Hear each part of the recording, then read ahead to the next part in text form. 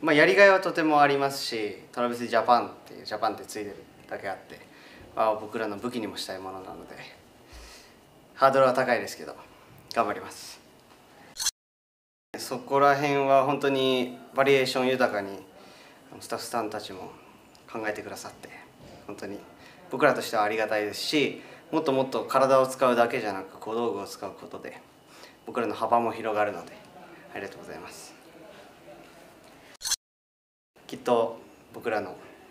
まあできる限りのパフォーマンスそして僕らなりの和を表現できたと思うのでぜひ皆さん